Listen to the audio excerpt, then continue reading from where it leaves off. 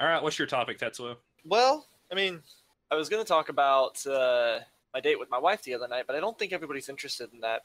No, please tell me in But we vivid actually- detail. I want to know all about this. What, what did you eat? Yeah. So we Where'd you go? we went out, we had a fun time and everything. But so actually, we did actually go to the hobby store, picked up a couple Gundam models. If, if for everybody who's been listening up to this point, you guys know that that I have a large weakness for giant fighty robots. Like Meta has for samurai. It's true.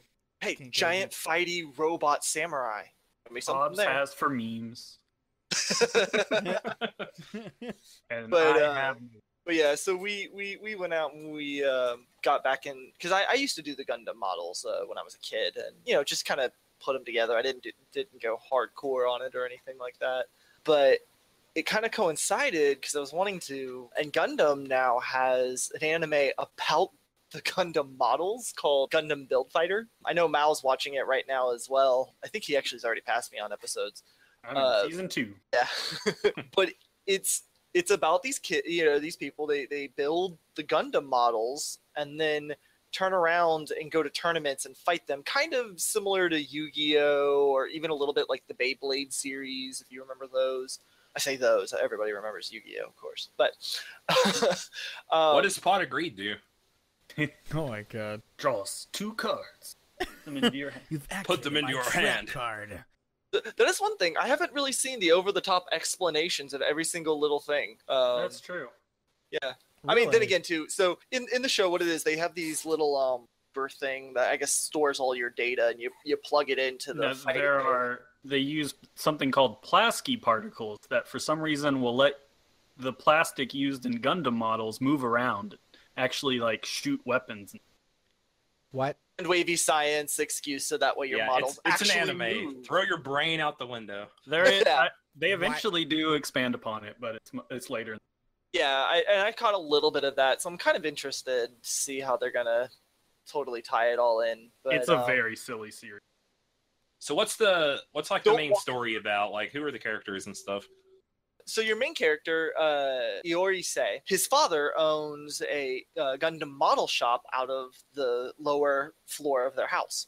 And he's this really great builder. So, so the thing about the models is, in addition to whatever you put together, it also depends on how well the models are put together. That's how strong the Gundam is. So you have the people who pilot it. That's some strength. But then also, if, if you know you put together the model really s- sloppily, it's not going to do too well. So this kid is really good at putting together the models, but he sucks at fighting.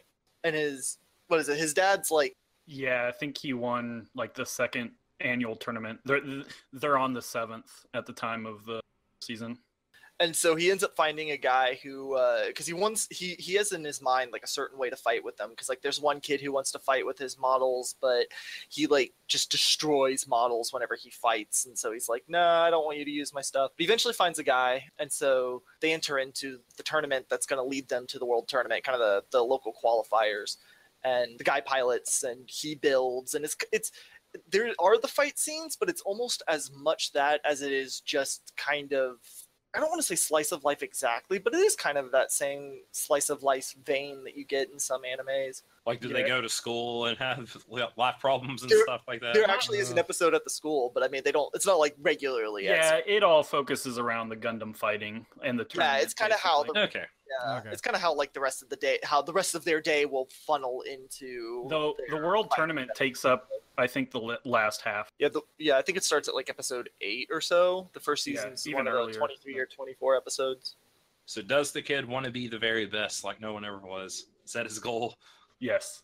Yes. Well, I mean that's always your goal, though. If it's you're Yeah. entering into a tournament, Yeah. it's a very bad idea to walk into a tournament and go, you know, I don't know that I care to hit first place. So do like their models get destroyed if they lose, or how, Um, what are like the consequences of So- losing, if any? With the Plavsky particles, in addition to moving the models, whenever the Gundam like would fire like a laser rifle, it'll create a small laser beam. And so when that hits the plastic at the end of the ep- uh, usually at the end of the fights, like you'll see them kind of laying in slight pieces or whatever, and they talk about how between fights he has to rebuild the shield or you know fix his leg joint or something like that. So I guess they do take damage to a Oh, yeah. degree. Oh no! Um, like if they cut him in half with a laser sword, the model's in half at the end. Of the Yeah. fight. So it's like the Gundams themselves are actually fighting. It's just their models, so you could easily like you know buy up thirty different torso runners of this one model, and then you just switch out the torso for uh, the next fight or something like that. Are they like remote control or are the kids inside? No, so so yeah, so when they put the the little base into or the the little receiver into the base, and they'll put their model on there, and then the particles will also go around where the person's standing, where the where they had put in their little jack thing. Uh, And- yeah, form some sort of cockpit. Yeah, it forms like a cockpit, and so whoever's piloting will be like standing like in a Gundam pilot's cockpit type deal. Guys, the fighter is there, but then the builder is standing off to the side, so he's almost like in like a secondary cockpit or you know whatever support role you want to say, and so they can communicate. But but it's all it's all also hologram because like there's definitely times where somebody just runs out of the or runs into Yep. these um, things, so they're just kind of holograms, but it I guess it reads the way you move, and then it will move your Gundam accordingly. It's pretty cool. It's pretty interesting. It's do not walk into it without the realization that it's made to sell their Gundam models. They are they have no qualms about making that known. It is Yeah. very apparent. Yeah. That's one of my questions in my notes. It says, "Does this seem like a blatant cash grab kind of show to sell product?" Yeah. But but it's not. It's it's an excuse to show off a bunch of different types of Gundams fighting without having to put the whole war, the like horrors of war around it, like you get Yeah. from other Gundam series. It's the light-hearted Gundam show, basically. Yeah. Yeah. That'd be fun. That'd be kind of fun to be able to see like something like a comp for start facing off against like new type Gundam or something like that. Just Yeah. the different. The uh, major rivals is um his his is a uh, Kampfer. yes, the best One Gundam. Of them. Is that what you meant to say? Well, he- actually, It's- his it's not even a specific model is called the gun uh, the Kampfer Amazing. That's his actual model Well, name. That was actually the model that I bought on Every- date with my wife. Yeah, Well, that's every model he uses, he says the blank amazing because he originally uses the uh, Zaku amazing, which is a red Char type model. That character's the Char clone of. Are Oh there my any God. references to the old anime and stuff like that? Oh yes. Oh, they are everywhere. In, in the like first- characters? Is there Shining Finger Sword? Tell me there's Shining Finger Sword. So I haven't seen that yet. Tets hasn't gotten to the second season yet, but the whole second season is basically a homage to G Gundam. okay. Yes.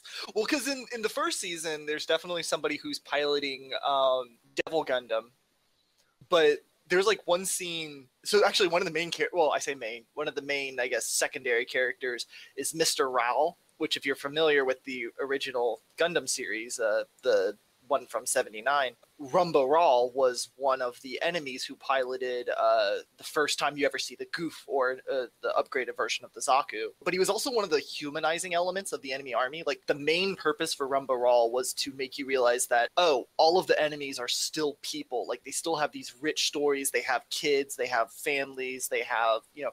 So he was kind of that humanizing element. And so when they turned around and they had him there in build fighter and he's kind of like a mentor to uh, the main character sort of And his It's, it's amazing. Gundam or Gunpla is yeah it's, it's one of the Goufs yeah. He's funny. Like like some of the so one of the going back to the kind of references one of the lines that he's known for um, in the anime is again it's the first time you see something that's not a zaku and the main character's like what kind of zaku is that? And he's this ain't no zaku boy. No zaku. And that's I remember that. the line that it's just like that too like that's the inflections he uses That's amazing. I oh. love that. and then in the anime, in this, there's like this one scene where they're battling, and I, I think I can't remember if he's like watching them fight or if he's like looking at one of the model. I think they, they were, he's looking at a model or something, but he's like, "That ain't no normal model, boy. Ain't no normal model." like, oh my gosh. I don't know. I just I laughed so Those hard scene. It- flashbacks. Yeah, so it does. It has a lot of these these tie-ins. So if you're somebody like me who's grew up on Gundam, who played with the Gunpla growing up, and now you're like, I'm gonna watch this anime to see what it's like. You'll definitely pick up on all these small things that tie it into other series, or tie other series to it. I guess I should say, because all the other, I guess, in canon for Build Fighter, the media is fictional media to them. So like, you know, the main character talks about having watched Gundam Wing Endless Waltz, you know, that kind of stuff. Oh, okay, that's neat. Yeah. So Gundam actually exists in their universe, Yeah, like as the, as the the, actual that it- shows. Yeah, the anime and the, uh, yeah, the whole whole nine yards. Okay, that's cool. So it's it's really entertaining. It is silly. It's really goofy. It's not You know, it's not the war torn, you know, human stories, war horror stories. It's very much lighthearted. We're going to come into this just to laugh at the silly, stu- stupid Yeah, stuff. I- uh, I had to. Uh, I transitioned to this after watching Iron Blood Orphans because I needed something more light.